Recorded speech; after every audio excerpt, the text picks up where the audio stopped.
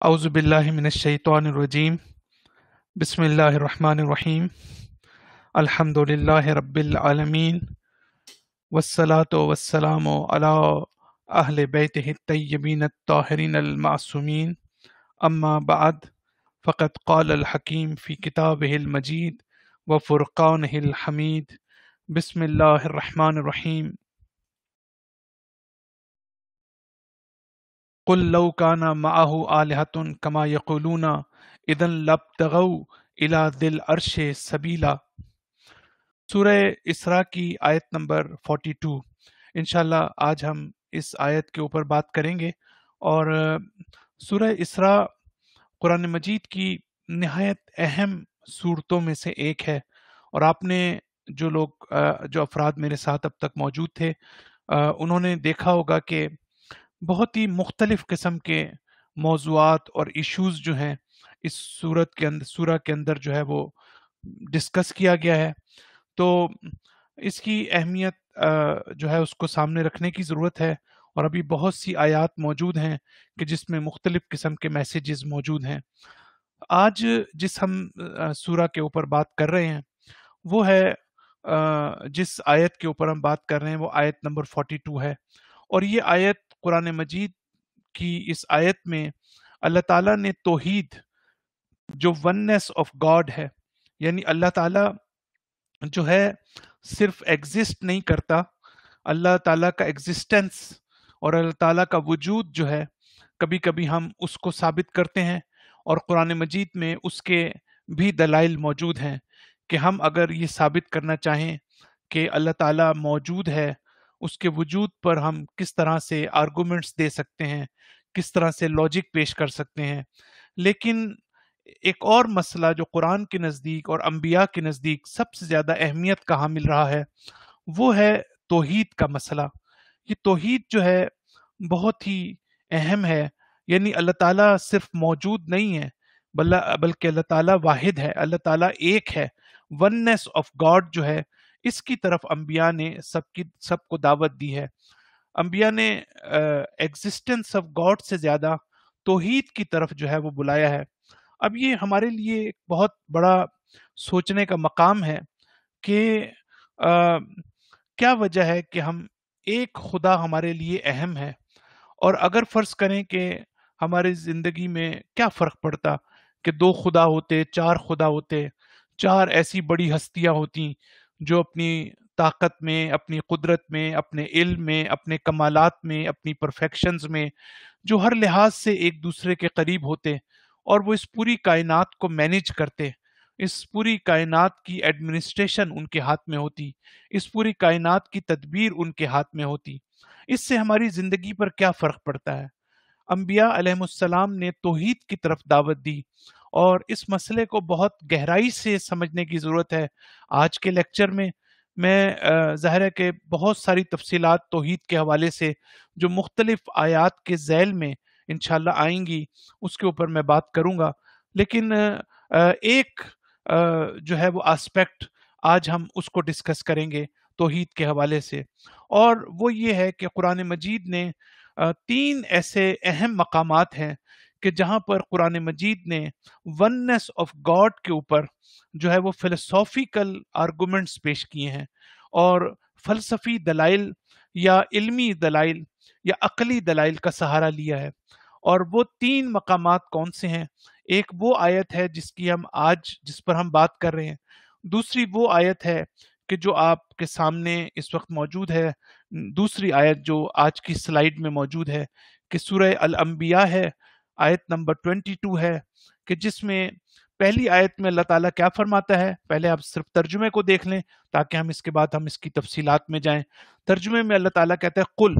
اب یہ قل کہہ کر اللہ تعالیٰ رسول کو خطاب کرتا ہے، پیغمبر کو خطاب کرتا ہے کہ پیغمبر، یہ لوگ اس قابل نہیں ہیں کہ میں بعض چیزیں ان کو ڈائریکٹ ایڈریس کروں۔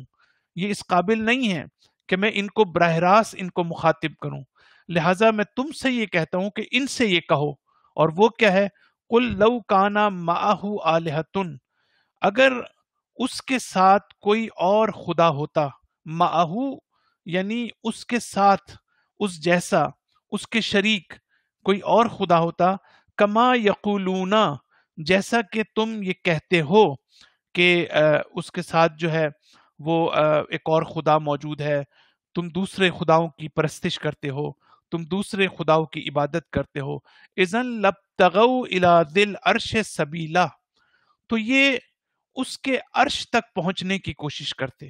یہ جو تمہارے بنائے ہوئے خدا ہیں، اگر یہ اللہ کے مقابلے میں خدا ہوتے، تو یہ اس کے عرش تک پہنچنے کی کوشش کرتے۔ ہیں عرش خدا سے مراد یہ ہے کہ اللہ کی سلطنت تک پہنچنے کی کوشش کرتے۔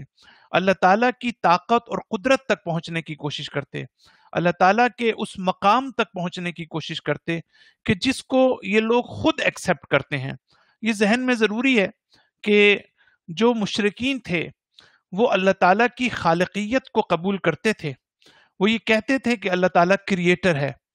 لیکن اس کے ساتھ ساتھ وہ یہ کہتے تھے کہ جن بتوں کی ہم پرستش کرتے ہیں، یہ رب ہیں یعنی یہ بھی پرورش کرنے والے ہیں۔ ان کو ربوبیت حاصل ہے۔ ربوبیت کا تعلق جو ہے وہ گرو کرنے سے ہے۔ ربوبیت کا تعلق جو ہے ڈیولپمنٹ سے ہے۔ ربوبیت کا تعلق جو ہے کسی چیز کو ترقی دینے سے ہے۔ تو کسی چیز کی گروتھ میں کسی چیز کو سپورٹ کرنا، کسی چیز کو سسٹین کرنا، اس ساری چیزوں کا تعلق جو ہے اور کسی چیز کو مینج کرنا، کسی چیز کو تدبیر کرنا، کسی چیز کو ایڈمنسٹر کرنا، یہ ساری کی ساری چیزوں کا تعلق جو ہے وہ رب سے ہے، ربوبیت سے ہے۔ تو ہم اس چیز کے قائل ہیں کہ اللہ تعالیٰ جو ہے صرف اس کائنات کا خالق نہیں ہے۔ یعنی اگر اللہ تعالیٰ صرف کریٹر ہوتا، جس طرح اللہ تعالیٰ مثلا ہم ایک گھڑی کو بنائیں اور گھڑی کو بنانے والا جو ہے وہ ہمیشہ کے لیے بنا کے چلا جائے اور گھڑی چلتی رہے، یا اگر کوئی مکان ہے، جیسے لوگ مکان کو بناتے ہیں اور بنانے کے بعد ہمیں یہ بھی پتہ نہیں ہوتا کہ اس مکان کو کس نے بنایا ہے؟ ہمیں یہ بھی پتہ نہیں ہوتا کہ اس کا انجینئر کون تھا، اس کا نقشہ کس نے بنایا تھا۔ وہ سب لوگ جنہوں نے اس میں محنت کی ہوتی ہے، وہ سب کے سب غائب ہو جاتے ہیں۔ لیکن مکان اپنی جگہ پر کھڑا رہتا ہے۔ مکان اپنی جگہ پر موجود رہتا ہے۔ گھڑی اپنی جگہ پر چلتی رہتی ہے۔ لیکن یہ کائنات اس طرح سے نہیں ہے۔ ایسا نہیں ہے کہ اللہ تعالیٰ نے اس کائنات کو خلق کر دیا ہو۔ اللہ تعالیٰ نے اس کائنات کو کریٹ کر دیا ہو اور اس کے بعد وہ ریٹائر ہو گیا ہو۔ اس کے بعد اس کو اس کائنات سے کوئی دلچسپی نہ ہو یا اس کے بد، مقابلے پر کچھ ایسے لوگ کچھ ایسی چیزیں آ گئی ہوں کہ جو اس کائنات کو چلا رہی ہوں، جو اس کائنات کا نظام چلا رہی ہوں۔ بلکہ اللہ تعالیٰ اگر اس کائنات کا خالق ہے تو اللہ تعالیٰ اس کائنات کا رب بھی ہے۔ یعنی اللہ تعالیٰ نے اس کائنات کی ہر لمحہ اللہ تعالیٰ پرورش بھی کر رہا ہے۔ اس کی گروتھ میں جو ہے وہ ہر لمحہ جو ہے اس کی انٹروینشن جو ہے وہ موجود ہے۔ تو ہم یہ کہتے ہیں قرآن مجید کی اس آیت میں کہ اگر دو خدا ہوتے تو یا اور اس کے مقابلے میں خدا ہوتے تو وہ خدا اللہ تعالیٰ کے عرش تک پہنچنے کی کوشش کرتے۔ وہ اللہ تعالیٰ کی طاقت اور قدرت کو اس سے چھیننے کی کوشش کرتے۔ وہ اپنے دائرہ اختیار کو اور اپنی پاور کو جو ہے وہ فردر ایکسپینڈ کرنے کے لیے ایکسٹینڈ کرنے کے لیے، وہ جو ہے اپنی لمیٹیشنز کو ختم کرنے کے لیے، وہ اللہ تعالیٰ کی لمیٹیشن لمٹس میں داخل ہونے کی کوشش کرتے، اس کے عرش تک پہنچنے کی کوشش کرتے۔ یہ ہے استدلال قرآن کا کہ جس آیت پر آج ہم بات کر رہے ہیں۔ اور قرآن یہ کہنا چاہتا ہے کہ چونکہ یہ ایسا نہیں کر سکتے، لہٰذا ان کی بات بھی غلط ہے، لہٰذا یہ رب بھی نہیں ہے۔ لہٰذا ان میں اتنی طاقت ہی نہیں ہے کہ یہ میرے عرش تک پہنچ سکیں، میری طاقت تک پہنچ سکیں۔ یہ ہو گیا ایک استدلال قرآن کا۔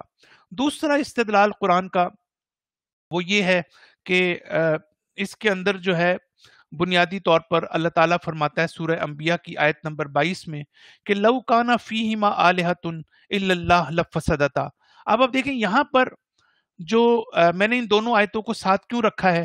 اس لیے کہ ان دونوں آیتوں کا جو پہلا حصہ ہے وہ ایک جیسا ہے۔ آپ غور کریں، بہت بہت دلچسپ آسپیکٹ ہے یہ کہ پہلا حصہ ایک جیسا ہے۔ ایک مرتبہ خدا کہتا ہے کہ لو کانا ماہو آلحتن اگر خدا کے ساتھ کوئی اور خدا ہوتا یا خدا کے ساتھ کوئی اور خدا ہوتے۔ اور دوسری آیت میں سورہ انبیاء کی بائیسویں آیت جو آپ کے سامنے ہے، اس میں اللہ تعالیٰ کہتا ہے لوکانا فیما آلیہتن اگر خدا کے ساتھ ساتھ زمین اور آسمانوں میں کوئی اور خدا ہوتا، یہ تو ایک جیسا ہے۔ لیکن آگے والا حصہ جو ہے وہ دونوں میں مختلف ہے۔ اور اس کا مطلب یہ کہ جو قرآن استدلال کر رہا ہے وہ بھی مختلف ہے۔ اس جگہ پر اللہ تعالیٰ کیا کہتا ہے؟ دوسری آیت میں اللہ تعالیٰ کہتا ہے کہ اگر دو خدا ہوتے تو یہ کائنات کا نظام درہم برہم ہو جاتا۔ اس کائنات کا نظام ختم ہو جاتا۔ یہ پوری کائنات جو ہے وہ ڈسٹروائے ہو جاتی۔ یہ پوری کائنات جو ہے وہ تباہ و برباد ہو جاتی۔ اب سوال یہ ہے کہ یہ کیا بات ہوئی؟ کیا یہ دونوں خدا آپس میں دوست نہیں ہو سکتے؟ کیا یہ دونوں خدا آپس میں ہاتھ میں ہاتھ دے کر اس پوری کائنات کا نظام نہیں چلا سکتے؟ یہ ہم کیسے کہہ سکتے ہیں کہ اس کائنات کا نظام تباہ ہو جاتا اگر دو خدا ہوتے ہیں؟ تو انشاءاللہ جب ہم تفصیل کے ساتھ اس آیت پر آئیں گے تو میں تفصیل کے ساتھ اس آیت کی تفسیر کروں گا اور تھوڑا سا آج بھی میں اشارہ کروں گا۔ لیکن پہلی آیت میں اللہ تعالیٰ کہتا ہے کہ اگر دو خدا ہوتے تو یہ میری قدرت تک پہنچنے کی کوشش کرتے۔ تو آپ نے دیکھا دونوں استدلال جو ہیں، ان کا اسٹائل جو ہے وہ مختلف ہے۔ ان کا انداز مختلف ہے، ان کا طریقہ کار مختلف ہے اور اس کا جو اپروچ ہے دونوں میں مختلف ہے۔ پہلے تو ہم نے اس کو سمجھنے کی کوشش کی۔ دوسری بات جو میں آج کرنا چاہتا ہوں وہ یہ ہے کہ قرآن مجید میں جو انبیاء ہم نظر آتے ہیں کہ وہ لوگوں کو توحید کی طرف بلاتے ہیں ونس آف گاڈ کی طرف بلاتے ہیں۔ سورہ توحید، سورہ قلح اللہ احد، اس میں بھی توحید کے بارے میں استدلال کیا گیا ہے۔ لیکن اس کا استدلال جو ہے، وہ بہت ہی گہرا ہے۔ آپ نوٹ کریں کہ ان دو آیتوں میں اللہ تعالیٰ کم از کم، بہت توجہ کیجیے گا جو میں بات کر رہا ہوں۔ ان دو آیتوں میں اللہ تعالیٰ کم از کم یہ فرض کرتا ہے کہ اگر کوئی دوسرا خدا ہوگا تو اس کا نتیجہ کیا ہوگا؟ پہلا نتیجہ یہ ہو سکتا ہے کہ یہ کائنات درہم برہم ہو جائے گی، یہ کائنات ڈسٹروائے ہو جائے گی، یہ کائنات تباہ ہو جائے گی۔ اور اگر دو خدا ہوئے تو وہ میری قدرت تک پہنچنے کی کوشش کریں گے۔ چونکہ وہ میری قدرت تک نہیں پہنچ سکتے، میری طاقت تک نہیں پہنچ سکتے، میری مالکیت تک نہیں پہنچ سکتے، لہٰذا وہ خدا نہیں ہے۔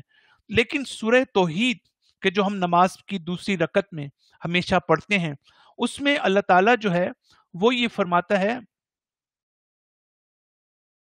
ذرا یہ بتائیے گا، آواز آپ کو کلیئر آ رہی ہے؟ آواز میں کوئی پرابلم تو نہیں ہے؟ کرن کہہ رہی ہے کہ آواز جو ہے وہ کٹ کٹ کے آ رہی ہے۔ کوئی اور ہے جس کو کوئی، اوکے، تو فرزین کو کوئی پرابلم نہیں ہے۔ باقی بھی سب بالکل ٹھیک ہے آواز اور ظاہراً میری طرف سے بھی سسٹم میں کوئی پرابلم نہیں ہے۔ تو آپ ذرا اپنا سسٹم چیک کیجیے گا، اپنا کمپیوٹر چیک کیجیے گا۔ تو لیکن سورہ توحید وہ قلو اللہ کہ جو ہم پڑھتے ہیں نماز کی دوسری رکت میں، اس میں اللہ تعالیٰ یہ کہہ ہی نہیں رہا۔ اللہ تعالیٰ کہتا ہے کل ہو اللہ احد۔ اللہ تعالیٰ احد ہے اور پھر کہتا ہے اللہ سمد اور سمد کی بات کرتا ہے۔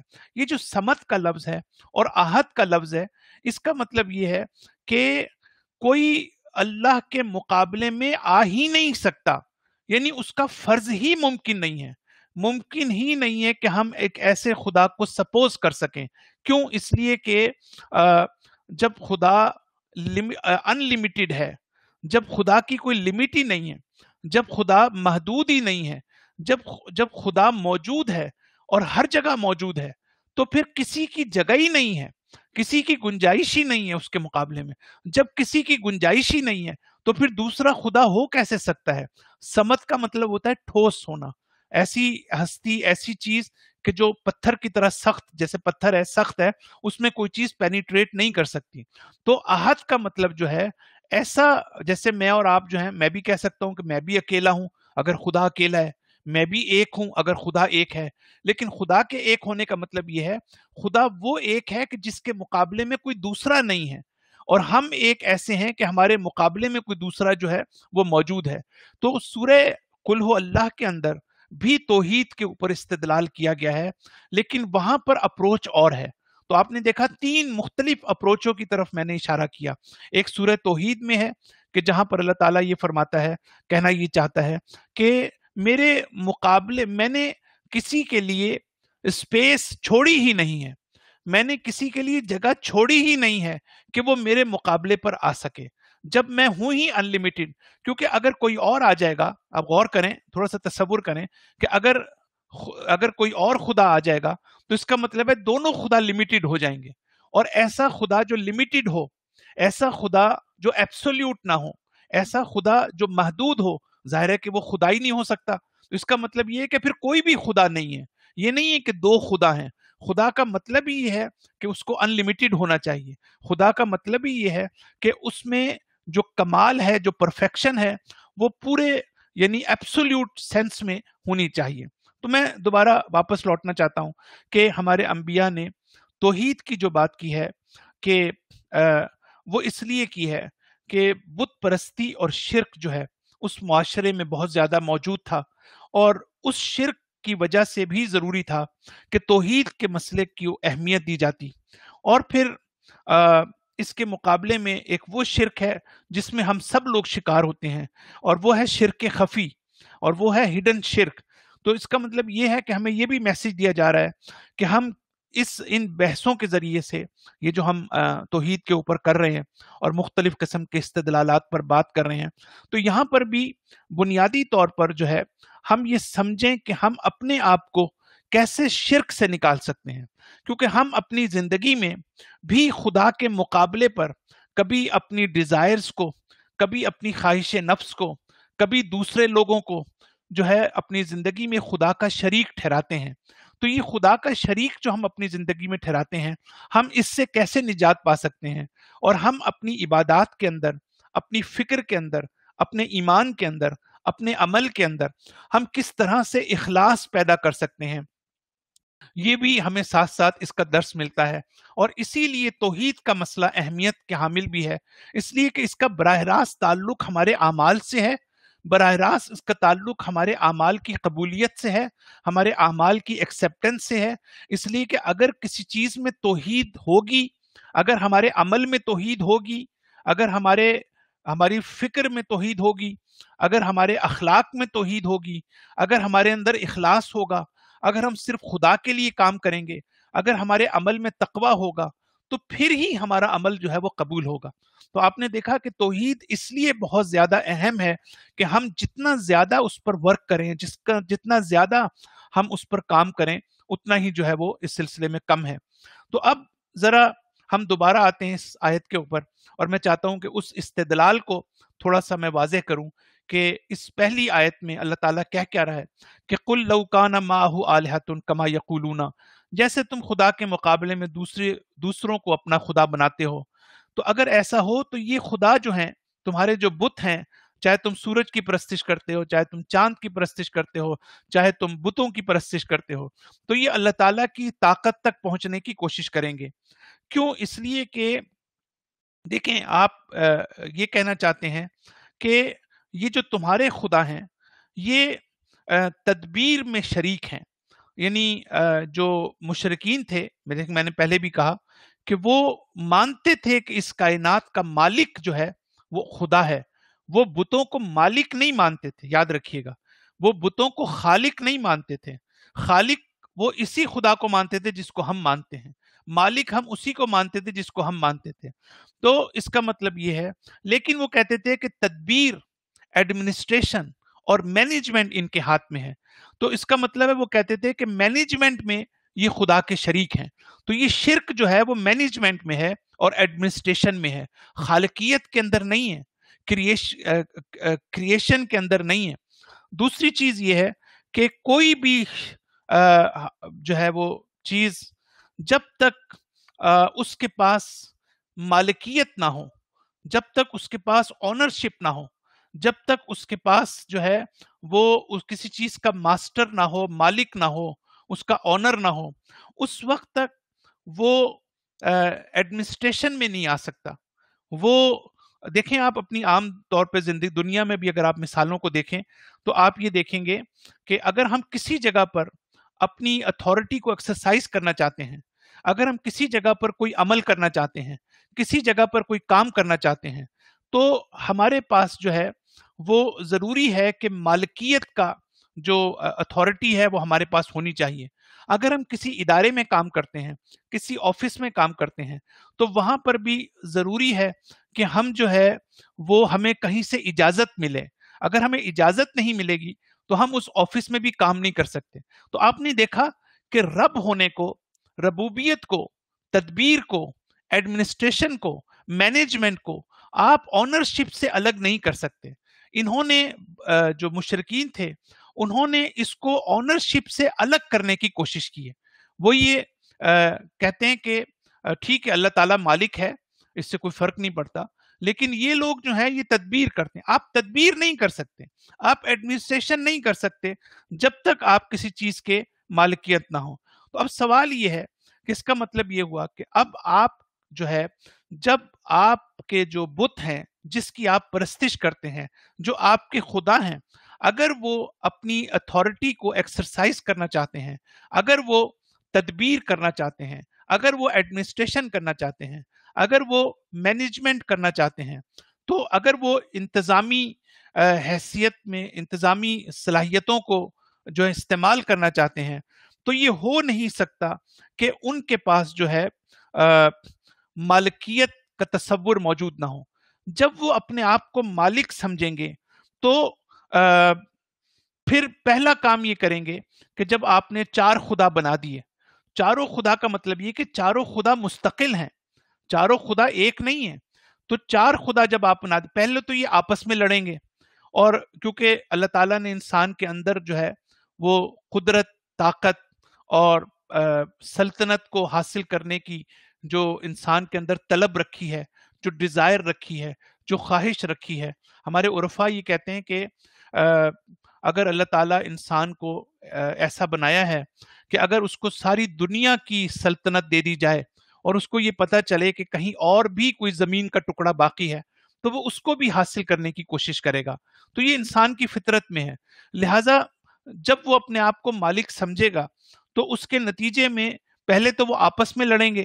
کہ بھئی میں اس کی زمین پر قبضہ کروں، میں اس کی مالکیت کو حاصل کروں۔ اور اس کے بعد وہ اصل مالک جو ہے، جس کو یہ خود بھی مالک مانتے ہیں، اس سے اس کی طاقت تک پہنچنے کی کوشش کریں گے۔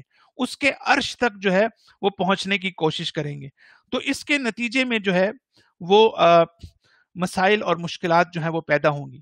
اب آپ یہ نوٹ کریں کہ بنیادی طور پر جو ایک بہت بڑا سوال پیدا ہوتا ہے، وہ یہ ہے کہ یہ ٹکراؤ کیسے ہوگا؟ کیونکہ یہ بھی آپ کہہ سکتے ہیں کہ یہ لوگ آپس میں نہ لڑیں، آپس میں جنگ نہ ہو، یہ آپس میں معصوم ہو دیکھیں، یہاں بہت ہی میں فلسفے میں جانے سے بچنا چاہ رہا ہوں، اس لیے مجھے بڑی مشکل ہو رہی ہے اس لیکچر کو ڈلیور کرنے میں آج کے، کیونکہ اس میں بہت ہی گہرائی ہے اور بڑی ڈیپتھ ہے اور میں چاہتا ہوں اس کو بہت آسان رکھوں۔ تو دیکھیں، جب اللہ تعالیٰ اپنی اللہ تعالیٰ اصل مالک ہے اور اللہ تعالیٰ اپنے حساب سے اس کائنات کا نظام چلانا چاہتا ہے، اس کو معلوم ہے کہ یہ معاشرہ کیسے چلے گا، دوسرا معاشرہ کیسے چلے گا، تمام شعبے جو ہیں اللہ تعالیٰ کو معلوم ہے لیکن اگر اس کے مقابلے میں کوئی خدا ہوگا اور وہ اپنے آپ کو بھی مالک سمجھے گا اور وہ تدبیر کرنا چاہے گا تو آپ نوٹ کریں کہ خود بخود وہ ایک قسم کی کنفلکشن اور تضاد اور کنٹرڈکشن میں آ جائے گا۔ اور اس کنفلکشن کے نتیجے میں جو ہے وہ کوئی بھی جو ہے وہ دوسرا خدا جو ہے وہ کام نہیں کر سکتا، وہ ایڈمنسٹریشن نہیں کر سکتا۔ لہٰذا وہ کوشش کرے گا کہ وہ اس مالکیت کو اور اس اصل سلطنت کو، اللہ تعالیٰ کے عرش کو اس تک پہنچنے کی کوشش کرے۔ جبکہ ایسے ہمیں کوئی اثار نظر نہیں آتے کہ کسی نے اس طرح سے اللہ تعالیٰ کی مالکیت تک پہنچنے کی کوشش کی ہو یا کوئی اللہ کی مالکیت اور اللہ تعالیٰ کی سلطنت کو حاصل کر سکا ہو۔ تو اس لیے ہمیں کم سے کم یہ ایکسیپٹ کرنا پڑے گا کہ جو یہ جو ٹکراؤ ہے، جو تضاد ہے اور جو ایک قسم کی کانفلکشن ہے، یہ ان ایویٹیبل ہے، یہ ناگزیر ہے۔ اس کے علاوہ کچھ ہو نہیں سکتا۔ تو اس آیت میں اللہ تعالیٰ یہ بتانا چاہتا ہے، صرف میسج یہی ہے کہ اگر اس کائنات میں کئی خدا ہوتے تو وہ میرے عرش تک بھی پہنچنے کی کوشش کرتے، کیونکہ ان کے اندر حب اقتدار پایا جاتا ہے، ان کے اندر حوث سے اقتدار پائی جاتی ہے، ان کے اندر طاقت کو حاصل کرنے کی لہٰذا وہ کبھی برداشت نہیں کر سکتے تھے۔ اور پھر میں خود بھی اللہ تعالیٰ کہتا ہے کہ میں خود کسی کو برداشت نہیں کر سکتا اگر کوئی مقابلے کے اوپر ہوگا۔ تو میں اپنے حساب سے اس کائنات کو چلانا چاہتا ہوں۔ تو آپ نے دیکھا کہ یہ چیز بالکل پاسبل نہیں ہے کہ ایک ہی کائنات کے اندر یہ تصور ہو کہ کئی خدا جو ہے وہ موجود ہوں۔ اب تھوڑا سا میں ایک نقطہ ہے، اس کو میں بیان کرنا چاہتا ہوں۔ انشاءاللہ اپنی گفتگو کو ختم کرنے کی طرف بھی لے جاؤں گا کہ یہ جو لوگ ایڈمنسٹریشن کرتے ہیں جو تدبیر کرتے ہیں وہ دو طرح سے ہو سکتی ہے اب ہم بڑے ایک امپورٹنٹ نقطے کی طرف آ رہے ہیں اور وہ یہ ہے کہ فرض کریں کہ دو اس کی پاسبلٹیز ہیں۔ ایک تو یہ کہ بے عزن اللہ ہو، کہ اس کو اللہ تعالیٰ نے اجازت دی ہو۔ اب فرض کریں اللہ تعالیٰ نے مجھے اجازت دی کہ میں اس کائنات میں ایڈمنسٹریشن اپنے ہاتھ میں لے لوں۔ مثال کے طور پر لوگوں کو رزق کیسے تقسیم کرنا ہے؟ لوگوں کس کو موت دینی ہے؟ کس کو حیات دینی ہے؟ اللہ تعالیٰ نے انبیاء کو اجازت دی ہے۔ اللہ تعالیٰ نے آئمہ کو اجازت دی ہے کہ وہ اس کائنات میں تصرف کر سکیں۔ وہ اس کائنات میں ایڈمنسٹریشن کسی حد تک جو ہے وہ کر سکیں۔ اور پھر اسی لیے قرآن مجید میں ہے فل مدبرات الامر یہ جو مدبرات الامر کا لفظ ہے، یہ ملائکہ کے لیے ہے، یہ فرشتوں کے لیے ہے۔ کسی فرشتے کو اللہ تعالیٰ نے علم کی تدبیر کا ذمہ دار بنایا ہے۔ کسی فرشتے کو اللہ تعالیٰ نے لائف اور حیات کی تدبیر کا ذمہ دار بنایا ہے۔ کسی فرشتے کو اللہ نے موت کا ذمہ دار بنایا ہے۔ کسی فرشتے کو اللہ تعالیٰ نے رزق کی تدبیر کا ذمہ دار بنایا ہے۔ مثلا کہا جاتا ہے کہ حضرت جبرائیل جو ہیں، وہ علم کو مینج کرتے ہیں۔ حضرت اسرافیل جو ہیں، وہ ہماری زندگیوں کو مینج کرتے ہیں۔ حضرت اسرائیل جو ہیں، وہ ہماری موت کو مینج کرتے ہیں۔ حضرت میکائیل جو ہیں، وہ ہمارے رسک کو مینج کرتے ہیں۔ لیکن یہ وہ چیز ہے جس کو قرآن نے، جس کو انڈورس کیا ہے۔ قرآن نے جس پر دستخط کیے ہیں۔ قرآن نے جس کو ایکسپٹ کیا ہے۔ اس لیے کہ یہ سارا کچھ اللہ کے اذن سے ہے۔ یہ سارا کچھ اللہ کے فرمان سے ہے۔ اور کوئی بھی اس دنیا میں طاقت ایسی نہیں ہے کہ جو اللہ کے حکم سے جو ہے اس کو وائلیٹ کرے یا اللہ تعالیٰ کی نافرمانی کرے اور اللہ تعالیٰ کی توحید کی مخالفت بھی اس سے نہیں ہوتی۔ تو آپ نے دیکھا کہ اگر اللہ تعالیٰ کا اذن موجود ہو، اگر اللہ تعالیٰ کی اجازت موجود ہو، اگر اللہ تعالیٰ کی دی ہوئی طاقت موجود ہو، تو اس میں شرک نہیں ہے۔ اس میں توحید ہے اور اس کی مخالفت نہیں ہے۔ لیکن اگر کوئی شخص ذرا فرض کریں، اب میں اس نقطے کی طرف آنا چاہتا ہوں کہ اگر کوئی شخص خدا کا کام انجام دینا چاہتا ہے اور مستقل حیثیت میں انڈیپینڈنٹ حیثیت میں اس کائنات کو چلانا چاہتا ہے، یہ ہے فرق جو انبیاء، اولیاء اور فرشتوں میں اور ان مشرقین کے خداؤں میں ہے۔ اس کو بار بار میں اس لیے دہرانا چاہتا ہوں کہ آپ اس کو سمجھیں کہ ایک بے عزن اللہ ہے اور ایک انڈیپینڈنٹ ہے یعنی مستقل حیثیت میں ہے۔ اب وہ فرض کرتے ہیں، مثال دیتا ہوں۔ فرض کرتے ہیں کہ ایک ایک کوئی ایک شخص یہ کہتا ہے کہ میں اس پوری کائنات میں درخت کے ایک پتے کو مینج کرنا چاہتا ہوں۔ اس پوری کائنات میں بارش کے ایک قطرے کو میں مینج کرنا چاہتا ہوں۔ یعنی میں اس میں انڈیپینڈنٹ ہوں۔ اس میں اللہ کا کوئی عمل دخل نہیں ہے۔ اللہ تعالیٰ کا اذن اور اللہ تعالیٰ کی اجازت نہیں ہے۔ تو اس کا مطلب یہ ہے کہ پہلے تو مجھے اس پتے کا مالک ہونا پڑے گا تاکہ میں اس کے اوپر کوئی کام انجام دے سکوں۔ اور مالکیت کے بغیر جو ہے، لیکن سوال یہ ہے کہ اللہ تعالیٰ یہ کہتا ہے کہ تمہاری حیثیت کیا ہے میرے اس نظام کے اندر؟ کہ تم میرے اس نظام میں مداخلت کیسے کر سکتے ہو؟ کیونکہ تم مخلوق ہو اور تم اس کائنات میں تمہاری حیثیت، اب دیکھیں، میں ایک آیت آپ کے سامنے لانا چاہتا ہوں۔ اس آیت کو دیکھیے گا آپ۔ بڑی ہی بڑی خوبصورت آیت ہے۔ یہ دیکھیں، یہ والی آیت ہے سورہ سبا آیت نمبر بائیس۔ اب یہ اسی سوال کا جواب دیتا ہے کہ جو میں نے کہا تھا نا کہ پہلے آپ کو مالک بننا پڑے گا، پھر آپ کو ایڈمنسٹریشن کرنی پڑے گی۔ یہ ہو نہیں سکتا کہ آپ مالک بنے لیکن آپ مالک نہ بنے لیکن ایڈمنسٹریشن کریں۔ اب قرآن کیا کہتا ہے؟ کل دو اللہ زام تم کہتے ہیں کہ ان کو یہ انوائٹ کرو، ان کو یہ بتاؤ کہ یہ جو یہ جو دعویٰ کرتے ہیں اللہ دینا زام تم من دون اللہ ہے کہ یہ جو اللہ تعالیٰ کے ساتھ دعویٰ کرتے ہیں، یہ ہیں کون؟ ان کی حیثیت کیا ہے؟ ان کی ویلیو کیا ہے؟ ان کی ورتھ کیا ہے؟ لا یملکون مثقال ذرت ان فی السماوات ولا فی الارض۔ ان کی ایک مسکال یعنی مسکال سے مراد وہ نہیں ہے جو گولڈ میں ہم یوز کرتے ہیں، ایک گرام، دو گرام، چار گرام۔ مسکال سے مراد ہے وہ چھوٹا ترین ذرہ جو ہوا میں موجود ہوتا ہے، لیکن ہمیں وہ نظر نہیں آتا، جس کا کوئی وزن نہیں ہوتا۔ اللہ تعالیٰ یہ کہتا ہے کہ ان کا لا یملکونا یہ اس کائنات کے کسی ایک ذرے کے مالک نہیں ہے سماوات آسمانوں میں اور زمین پر وہ لہم فی من شرکن نہ تو یہ مالک ہیں اور نہ یہ میری مالکیت میں شریک ہیں۔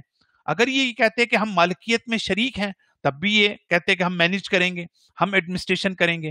وہ ماں لہو منہم من ظہیر اور نہ ہی یہ یہ کہہ سکتے ہیں کہ اچھا ہم نے شریک تو نہیں ہے ہم مالک بھی نہیں ہیں، لیکن جب اللہ تعالیٰ یہ کائنات خلق کر رہا تھا، تو ہم اللہ تعالیٰ کو سپورٹ کر رہے تھے۔ ہم اللہ تعالیٰ کی پشتبانی کر رہے تھے۔ ہم اللہ تعالیٰ کو کی مدد کر رہے تھے۔ ہم اللہ تعالیٰ کی حمایت کر رہے تھے۔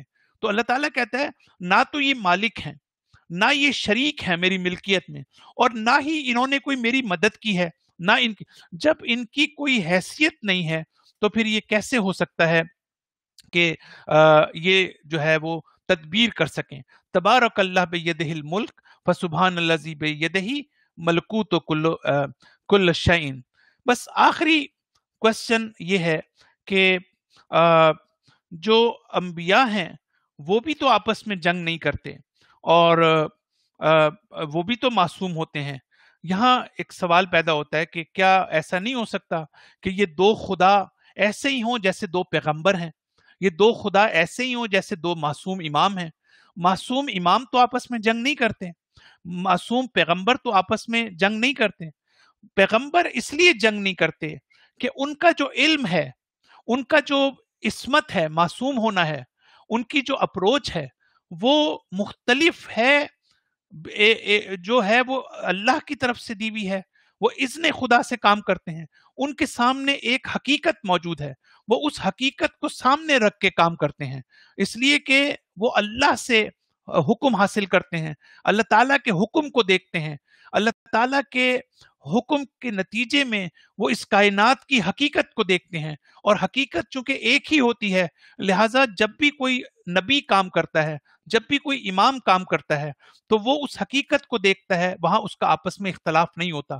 لیکن جب دو خدا ہوتے ہیں، تو دونوں کا علم بھی مختلف ہوتا ہے، دونوں کی طاقت بھی مختلف ہوتی ہے، دونوں کی قدرت بھی مختلف ہوتی ہے، دونوں کا سوچنے کا انداز بھی مختلف ہوگا۔ لہٰذا وہاں پر اختلاف کا ہونا جو ہے وہ بہت ضروری ہے۔ بس جب دو پیغمبر ہوتے ہیں تو وہ ہر چیز خدا سے حاصل کرتے ہیں، فرمان بھی، عصمت بھی وہی بھی، اور نہ ہی ایکسٹرنل فیکٹرز ان پر اثر انداز ہوتے ہیں، نہ انٹرنل فیکٹرز ان پر اثر انداز ہوتے ہیں۔ ان کا علم بھی خدا کی طرف سے ہوتا ہے اور ان میں کوئی اختلاف بھی نہیں ہوتا۔ لیکن جو دو خدا ہوتے ہیں، ان میں دو مختلف ذات ہوتی ہیں، دو مختلف صفات ہوتی ہیں اور پھر جو ہے، اس کے نتیجے میں ان کے سامنے کوئی حقیقت نہیں ہوتی، کیونکہ ان کا علم خود حقیقت ہوتا ہے۔ ان کے ان کا جو طاقت ہے، وہ خود اپنی ذات میں حقیقت ہوتی ہے۔ لہٰذا ایسی صورت میں جو ہے، اب آپ غور کریں کہ میرا علم اور یعنی ایک خدا کا علم اور دوسرے خدا کا علم جو ہے، وہ ایسا نہیں ہے کہ اس کا کوئی ماڈل موجود ہو، بلکہ وہ جو ہے خود سے کریٹ ہونے والا علم ہے، اس کی ذات کا حصہ ہے، تو اس کے نتیجے میں کیا ہوگا؟ اس کے نتیجے میں اختلاف اور جنگ اور نزا جس کو ہم کہتے ہیں، اس کا ہونا جو ہے ضروری ہے۔ یہ ہے توحید کے اوپر اللہ تعالیٰ نے یہ جو چار امپورٹنٹ آیتیں پیش کی ہیں، یہ وہ آیت کہ جس میں اللہ تعالیٰ یہ فرماتا ہے کہ اگر اس کائنات میں دو خدا ہوتے تو یہ یہ جو ہے تباہ و برباد ہو جاتی۔ اس میں بہت سارے سوالات ہو سکتے ہیں، لیکن میں انشاءاللہ جب یہ آیت آئے گی تو تفصیل کے ساتھ بات کروں گا۔ اللہ تعالیٰ ہم سب کو توفیق دے کہ ہم قرآن کو بہتر سے بہتر طور پر سمجھ سکیں۔ وصلی صلی اللہ علیہ محمد و علیہ طیبین طاہرین المعصومین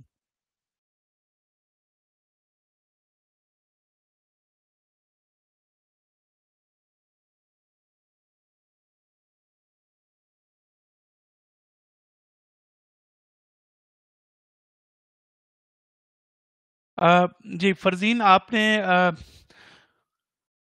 جی ہاں فرزین، آپ کا کوشچن بہت امپورٹنٹ ہے اور آپ یہ کہہ رہی ہیں کہ کیا میں اس کی زیادہ بیک گراؤنڈ دے سکتا ہوں کہ یہ جو آئیڈولیٹرس تھے جو ورشپ کی جاتی تھی اس زمانے میں اور آج کے زمانے میں ہندو ازم کے اندر جو ورشپ کی جاتی ہے، کیا وہ ایک ہی ہے؟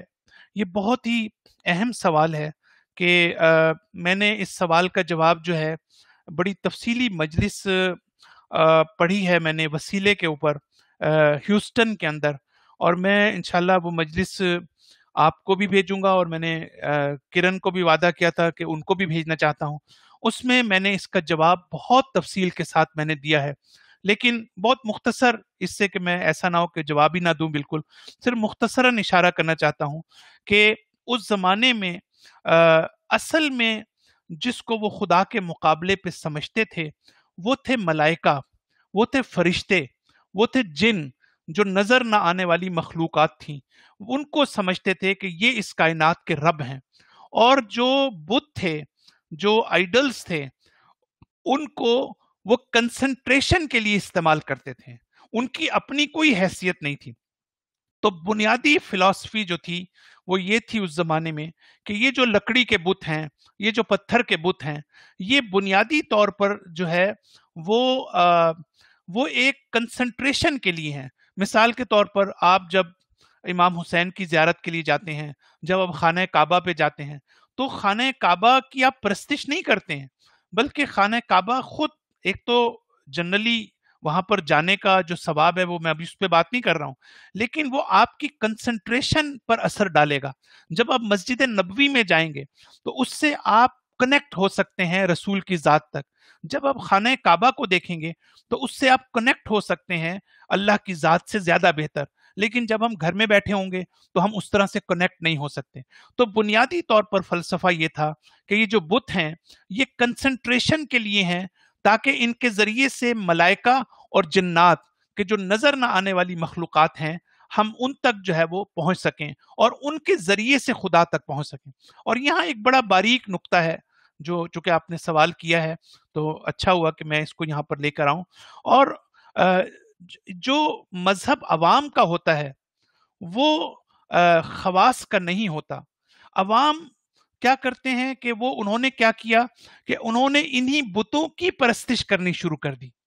اور بجائے اس کے کہ جو بنیادی فلسفہ تھا، وہ کنسنٹریشن کا تھا، وہ وسیلے کا تھا۔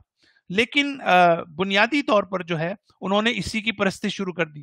یہ عوام جیسے ہمارے ہاں بھی، آپ دیکھیں نا، ہمارے ہاں جو عوام ہیں، جو عام لوگ ہیں، وہ ابھی بھی جب مزاروں پہ جاتے ہیں، تو دوسروں کو یہ امیج ملتا ہے کہ جیسے یہ پرستش کر رہے ہیں۔ وہاں پر جا کے جس طرح سے وہ سجدے کرتے ہیں، جس طریقے سے وہ عبادات انجام دیتے ہیں۔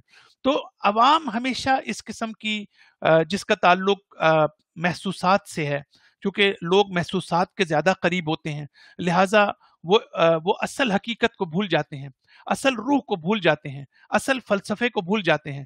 اسی طریقے سے جو اس زمانے کا بت پرست معاشرہ تھا اس میں بھی دو کیٹیگریز تھی ایک وہ کیٹیگری تھی کہ جو واقع بتوں کو کنسنٹریشن کے لیے استعمال کرتے تھے، نہ کہ بتوں کی کوئی حقیقت سمجھتے تھے۔ اصل حقیقت ملائکہ کی تھی، اصل حقیقت جنات کی تھی۔ لیکن جو عام لوگ تھے، وہ انہی بتوں کو پرستش کرنی شروع کر دی۔ جیسے ہم میں سے کچھ لوگ جو ہے وہ مزاروں کی پرستش کرنی شروع کر دیں۔ تو یہ جو ہے وہ بنیادی اس کے اندر فلاسفی ہے۔ اب ہندوازم میں بھی میں نے کئی ہندوؤں سے میں نے اس سلسلے میں بات کی ہے۔ بالکل وہی مسئلہ ہے جو میں نے، جو اس زمانے میں تھا۔ آج بھی یہی مسئلہ ہے۔ آپ ہندوستان میں چلے جائیں وہاں پر جہاں بھی بدھسٹ موجود ہیں، جہاں پر بھی بتوں کی پرستش ہوتی ہے۔ جب آپ ان کے اسکالر سے بات کریں، میری خود تفصیل کے ساتھ ہندو اسکالر سے بات ہوئی۔ کچھ لوگ ہاسپٹل میں، وینکو جنرل ہاسپٹل میں ملٹی فیتھ جو یہاں کا ڈپارٹمنٹ ہے، وہاں پر ہندو اسکالرز موجود ہیں جو بہت محقق بھی ہیں۔ میں نے ان سے تفصیل سے بات کی کہ جب آپ لوگ بتوں کی پرستش کرتے ہیں، تو آپ تو خود کہتے ہیں کہ ہم خدا کو مانتے ہیں۔ ہم اللہ کو مانتے ہیں، ہم اللہ کی وحدانیت کو بھی مانتے ہیں، اللہ تعالیٰ کی خالقیت تو پھر بتوں کی پرستش کیوں کرتے ہیں؟ تو انہوں نے مجھے کہا کہ ہم لوگ صرف کنیکٹ ہونے کے لیے، صرف جو ہے وہ ریفلیکشن کے لیے، صرف ہم چاہتے ہیں کہ ہم کنسنٹریٹ کر سکیں اللہ تعالیٰ پر، ورنہ بتوں کی ہمارے نزدیک کوئی حیثیت نہیں ہے۔ لیکن آپ نوٹ کریں کہ یہ ان کے اسکالرس کہہ رہے ہیں، لیکن جو عوام ہے جب آپ ہندوستان میں چلے جائیں، آپ ان کے عوام سے انٹرویو لیں، تو وہ اس چیز کو بھول جائیں گے اصل فلسفے کو کہ یہ بت دراصل جو ہے وہ خدا تک پہنچنے کا ذریعہ تھے، بلکہ وہ انہی کو جو ہے وہ خدا سمجھ بیٹھتے ہیں۔ میرا خیال ہے کہ تھوڑی سی وضاحت میں نے کی، میں نے مجلس میں اس کی بہت زیادہ وضاحت کی، میں نے اس کی۔ میں ذرا تابش بھائی کا سوال پڑھ لوں، کیا ہے؟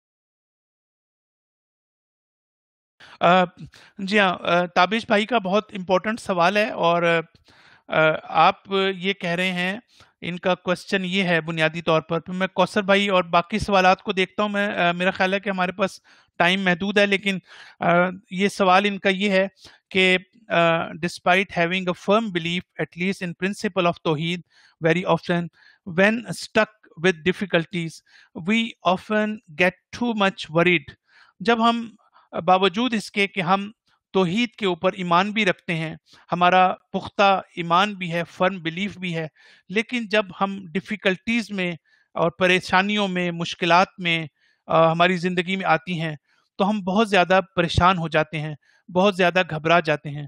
تو کیا کوئی اس کا پریکٹیکل وے ہے کہ جس کی وجہ سے ہم توحید کے اوپر ہمارا جو ہے ایمان قوی ہو جائے؟ تو تابش بھائی بڑا میں نے اس کو بھی بعض اپنے لیکچرز کے اندر اور بعض مجالس کے اندر میں نے بہت اچھے طریقے سے اس مسئلے کو اٹھایا ہے۔ اور اگر آپ سورہ حمد کی ہماری تفسیر میں ہوں تو میں نے وہاں پر جہاں ایا کا نابد و ایا کا نستعین، جہاں میں نے تفسیر کی تھی، وہاں پر بھی میں نے کافی اس کی ایکسپلینیشن دی تھی۔ اور پرابلم ہمارے اندر یہ ہے، پہلے اس کو سمجھنے کی ضرورت ہے کہ اللہ تعالیٰ کو جاننا، اللہ تعالیٰ کی توحید کو جاننا اور اس کے اوپر دلیل کا معلوم ہونا کہ مثلا اس کو کیسے ثابت کرنا ہے، کیسے پروف کرنا ہے، یہ اور چیز ہے اور پریکٹیکل توحید اور چیز ہے۔ یعنی کبھی کبھی ہم، ہماری زندگی میں اللہ کا موجود ہونا، ہماری زندگی میں توحید کا موجود ہونا، بالکل اسی طرح سے کہ ہمیں یہ معلوم ہے کہ آخرت موجود ہے، ہمیں یہ معلوم ہے کہ قیامت موجود ہے، لیکن اس کے باوجود ہمارے عمل میں اس آخرت پر ایمان کے اثرات نظر نہیں آتے۔ تو یہ ہماری زندگی میں یہ ایک پرابلم ہے کہ پہلے تو ہم اس کو سمجھیں تاکہ میں آپ کے پھر اصل سوال کے جواب کی طرف آؤں۔ اور وہ یہ ہے کہ عملی توحید کو کس طریقے سے ہم اپنی زندگی میں زندہ کریں۔ اور ہم واقعاً ہمارے اندر خوف خدا پیدا ہو۔ واقعاً ہم یہ سمجھیں کہ خدا ہمیں دیکھ رہا ہے۔ واقعاً ہم یہ سمجھیں کہ آخرت موجود ہے۔ نہ یہ کہ صرف ہمیں علم کی حد تک ہمیں معلوم ہو یا عقیدے کی حد تک ہمیں معلوم ہو، لیکن ہمارے قلب اس کو ایکسیپٹ نہ کر سکا ہو۔ تو عملی توحید جب تک ہمارے اندر نہیں ہوگی، اس وقت تک ہم اپنی زندگی میں آنے والی پریشانیوں کو جو ہے ہم حل نہیں کر سکتے۔ دوسری بات یہ ہے کہ یہ جو مشکلات کا تعلق ہے، اگر آپ چونکہ آپ میری مجالس میں ظاہر ہے آسٹریلیا میں تو آپ ہیں، لیکن آپ اس شہر میں نہیں ہیں۔ تو میری پورا میں نے اشرا اس موضوع کے اوپر پڑھا ہے کہ قرآن کی نظر میں جو ہمارے مشکلات آتی ہیں اور مصائب آتے ہیں، ہم اس کو کس طرح سے ایڈریس کریں۔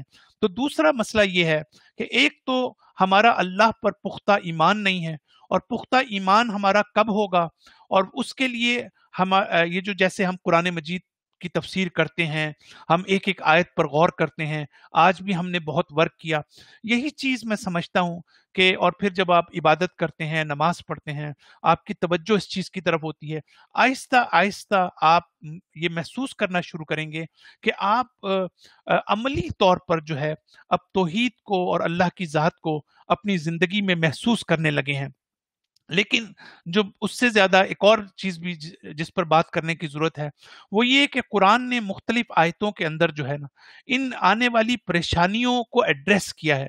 اور یہ بھی کہا ہے کہ ان پریشانیوں کا کس طریقے سے آپ نے فیس کرنا ہے، کس طریقے سے آپ نے مقابلہ کرنا ہے۔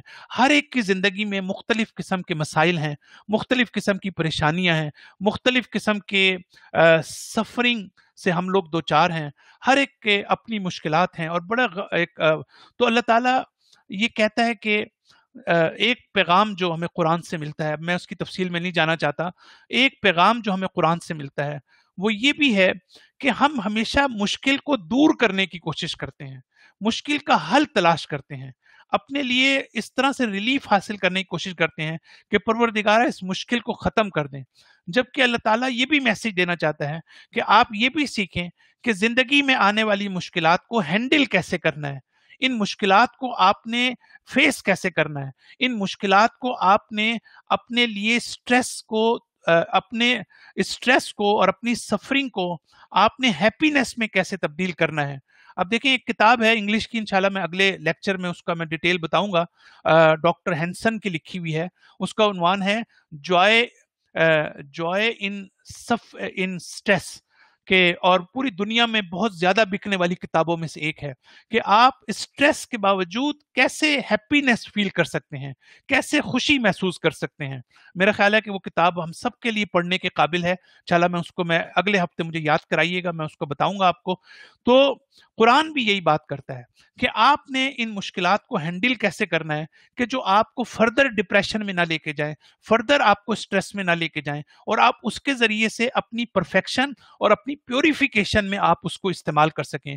تو جتنی آپ کو تکلیف ہوگی جتنی آپ مشکلات سے گزریں گے قرآن اس کے بارے میں مختلف راستے بتاتا ہے۔ میں چاہتا ہوں کہ ان راستوں پر انشاءاللہ مختلف آیتوں میں بھی ہم غور کرتے رہیں گے اور آئندہ بھی اس پر ہم غور کریں گے۔ جی کوثر بھائی آپ کا سوال ہے to prophets, imam, and angels, limited authority is entrusted by Allah, whereas uh, demigods are self-made.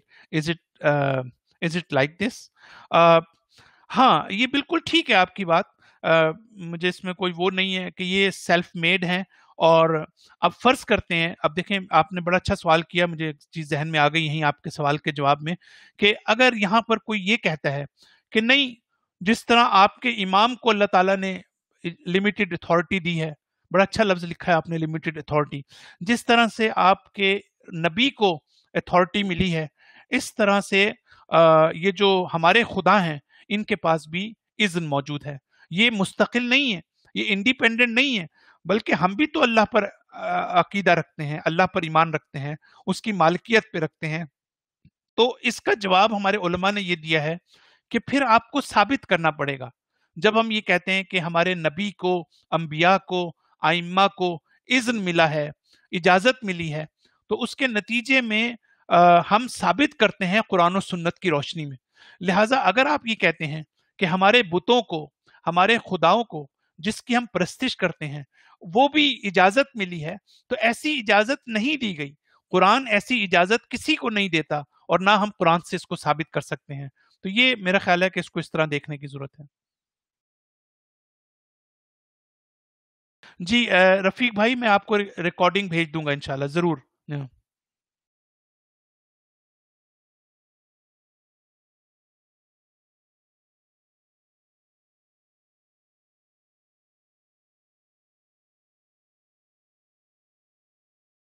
جی کرن کرن نے بھی بڑی اچھی بات کی ہے اپنا دانش بھائی آپ کے، اس کے جواب میں، اور میں نے اس کی طرف بھی اشارہ کیا ہے کہ اب آپ دیکھیں کہ امام حسین علیہ السلام جب حضرت علی اصغر علیہ السلام کی شہادت ہوئی تو آپ نے یہی کہا کہ حون علیہ کہ خدایا اگر یہ مشکل اور مصیبت تیری نگاہوں کے سامنے نہ ہوتی تو تو میں کبھی بھی اس مصیبت کو برداشت نہیں کر سکتا تھا۔ تو اس کی وجہ یہ ہے کہ امام حسین جس توحید پر ایمان رکھتے تھے، وہ اپنی زندگی میں خدا کو ایکسپیرینس کرتے تھے۔ اور قرآن بار بار ہمیں اس کی طرف لاتا ہے کہ ہم اللہ تعالیٰ کو اپنی ذات، اپنی زندگی میں ایکسپیرینس کریں۔ صرف اللہ تعالیٰ کو جانے نہیں، صرف نوئنگ گاڈ یہ کافی نہیں ہے، بلکہ اللہ کو اپنی زندگی میں ایکسپیرینس کرنا۔ اللہ تعالیٰ پر فیتھ کا ایک مطلب یہ بھی ہے کہ اگر ہم مشکل میں بھی گرفتار ہوتے ہیں، تو تب بھی ہمیں یہ سکون ہو کہ اللہ ہمارے ساتھ ہے۔ اور اللہ کی مسلحت یہ ہے کہ ہم اس مشکل میں جو ہے وہ ہم اس کو فیس کریں۔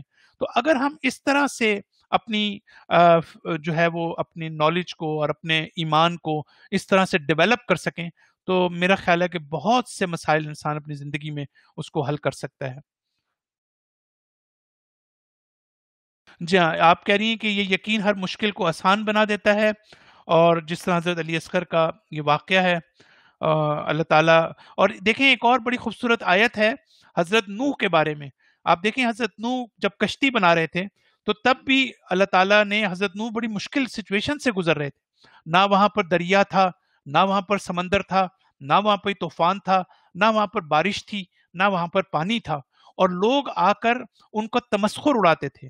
ان کا مذاق اڑاتے تھے، جب وہ کشتی بنا رہے تھے۔ تب اللہ تعالیٰ نے حضرت نو کو کہا کہ وس نے اس کشتی کو بناؤ بے آیوننا میری نگاہوں کے سامنے، ہماری نگاہوں کے سامنے یعنی میری پریزنس میں۔ تو جہاں پر بھی بہت مشکل آتی ہے، تو اللہ تعالیٰ اس طریقے سے انبیاء کو خطاب کرتا ہے اور کہتا ہے کہ تم میری پریزنس میں یہ چیز کرو، یہ کام کرو، تو تمہیں پھر کسی قسم کی کوئی پریشانی جو ہے وہ نہیں ہوگی۔